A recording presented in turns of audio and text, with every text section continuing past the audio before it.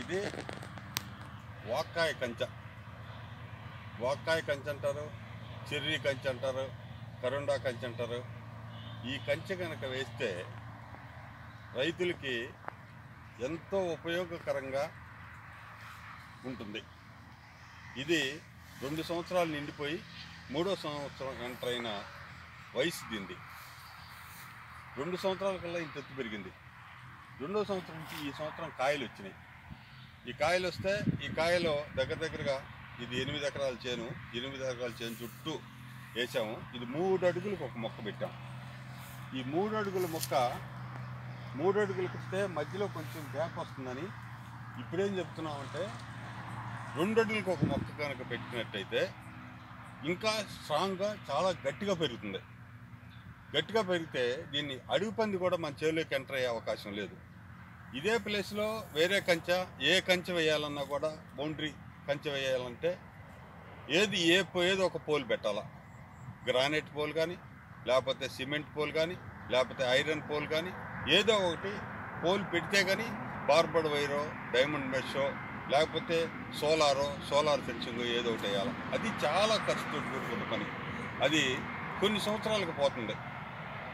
ఏడు సంవత్సరాలకు కానీ ఎనిమిది సంవత్సరాలకు కానీ ఏమైనా కానీ లైఫ్ లాంగ్ ఉండే సమస్య అయితే లైవ్ ఫెన్సింగ్ అయితే కాదు. భూమిలో వేసిన దగ్గర నుంచి దాని శక్తి తగ్గిపోతుంది శక్తి పెరిగే పరిస్థితి లేదు. ఇది ఈ ఫెన్సింగ్ కనుక వేస్తే జీవితకాలం బయో ఫెన్సింగ్ అనేది ఎంతో మేలు చేస్తుంది రైతులకి. ఎవరిని మనిషిని కానీ పశువుని కానీ అడవి పందిని కానీ నీ చేలోకి ఎంటర్ కావటానికి లేదు.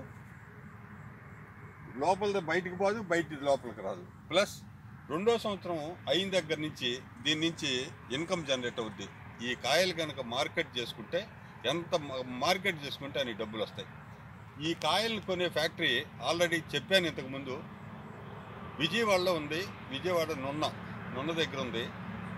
వాళ్ళు ఇరవై ఐదు రూపాయలు కిలో కాయలు కొంటున్నారు. మేము మొత్తం చెన్నై పంపిస్తాం. చెన్నైలో ముప్పై నుంచి నలభై రూపాయల వరకు వస్తుంది. ఈ సంవత్సరం కొంచెం ఇబ్బంది అయింది ఈ కరోనా ఎఫెక్ట్ వల్ల. అందుకని గుజరాత్ నుంచి వచ్చారు. ఈ కాయ గుజరాత్ పంపించాం ఈ సంవత్సరం.